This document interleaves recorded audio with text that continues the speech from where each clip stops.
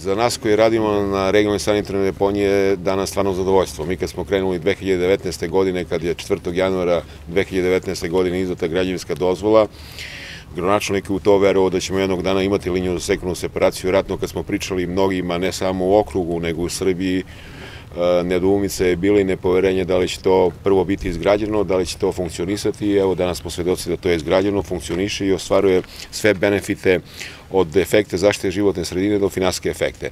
Za okrug ima veliki značaj i za grad Pirot i za opštine Dimitrovat, Babušnicu, Belu Palanku, jer prvo grad Pirot i ceo okrug mapira na karti Srbije, na ekološkoj karti Srbije kao odgovorna sredina koja vodi računa i primenjuje evropske standarde u delu upravljanja neopasnim otpadom, znači od primarne selekcije, sekundarne separacije, kompostana, građevinski otpad.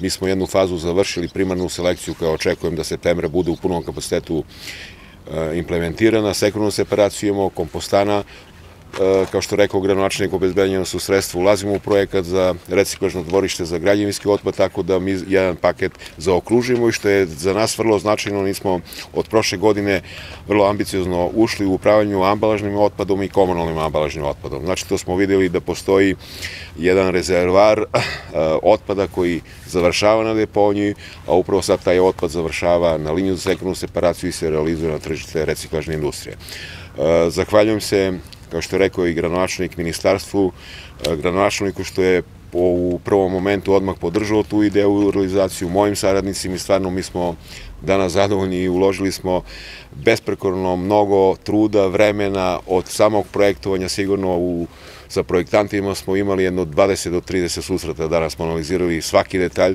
tako da zadovoljstvo je da od projekovane 267 miliona predračunske vrednosti, mi smo probili, nismo probili tu predračunsku vrednost, nego smo potrošili 264 miliona, znači uklopili smo se u projektansku vrednost, što pokazuje da je projekat dobar, i što je najznačajnije sada krećemo u proceduru upotrebne dozvole, sve urađeno u skladu sa projektom, sa zakonima, sa propisima, tako da dobit ćemo i upotrebnu dozvolu.